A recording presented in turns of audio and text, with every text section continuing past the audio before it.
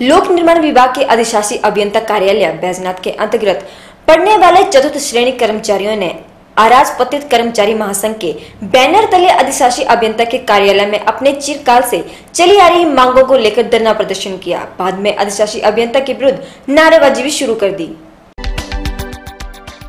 लोक निर्माण विभाग के अधिशासी अभियंता कार्यालय बैजनाथ के अंतर्गत पड़ने वाले चतुर्थ श्रेणी कर्मचारियों ने अराजपत्रित कर्मचारी महासंघ के बैनर तले अधिशासी अभियंता के कार्यालय में अपनी चिरकाल से चली आ रही मांगों को लेकर धरना प्रदर्शन किया। साथ ही उन्होंने धरना प्रदर्शन करने के बाद अधिशासी अभियंता के विरुद्ध नारेबाजी शुरू कर दी। इस मौके पर अराजपत्रित कर्मचारी के महासंघ के अध्यक्ष रजिंद्र भंगलिया का कहना है कि कर्मचारियों के मेडिकल बिलों का भुगतान नहीं किया जा रहा है। कर्मचारियों को न डीए का एरियर मिल रहा है और न ही सामान्य भविष्य निधि का भी समय पर भुगतान किया जा रहा है। फ़ील्ड स्टाफ को कार्यालय में रखा गया है। जब भी कोई कोर्ट केस लग जाता है तो फ़ील्ड स्टाफ को भेज दिया जाता है। उनका कहना है कि कई बार हमने महोदय को लिखित व मौखिक अनुरोध किया कि समय पर चतुर्थ श्रेणी कर्मचारियों का भुगतान किया जाए, मगर ना हमें बात करने का समय रखा जाता है, ना ही हमारी मांगों को सुना जा रहा है।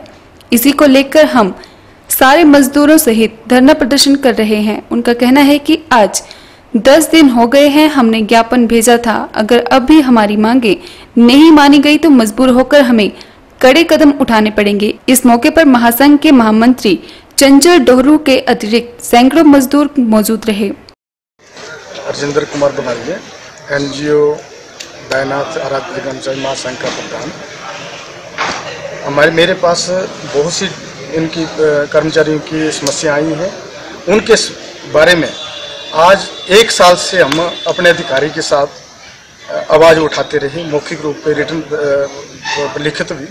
आज दिन तक हमारी बेचारे गरीब आदमी की एक भी समस्या को हल नहीं हुआ। इस बार हमने पीडब्ल्यू सेक्रेटरी से साथ भी, सबके साथ मीटिंग की एमएलए के साथ भी बोला। एमएलए साहब ने हमें ऊपर फ़ोन किया, जो डिप्टी कंट्रोलर हैं पीडब्ल्यू के, जिन्होंने बाइट देना होता है, उन मुहैया कराना होता है, उनको एमएलए साहब ने फ़ोन किया।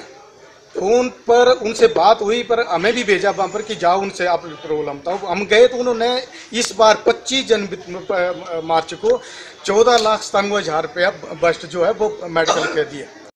अधिशासी अभियंता एस के सूद ने कहा कि इस बारे हमने इनको चिट्ठी लिखकर कहा था कि किन किन के कितने कितने पैसे बाकी हैं उसकी लिस्ट भेजी जाए। हमें इस बात का पता नहीं है कि किस कर्मचारी का कितना टीए मेडिकल देना बनता है।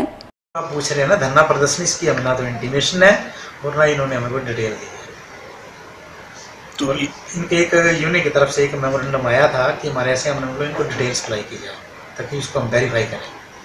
तो कुछ नहीं आया और अपने लेवल पे आया भक्तों तो छोटे से ब्रेक का ये मिलते हैं ब्रेक के बाद।